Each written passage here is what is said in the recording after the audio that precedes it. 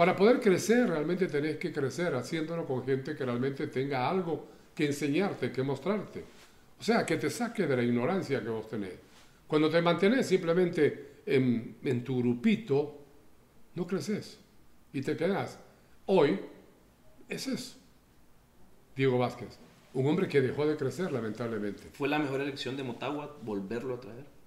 No creo, no creo. No creo, porque eso es como repetir lo mismo, pues. O sea, eh, venís del fracaso y volvés con el fracaso. ¿Qué te hace pensar que lo vas a cambiar?